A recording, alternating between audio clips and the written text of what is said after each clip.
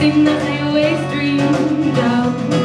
And just to be me, to be able to be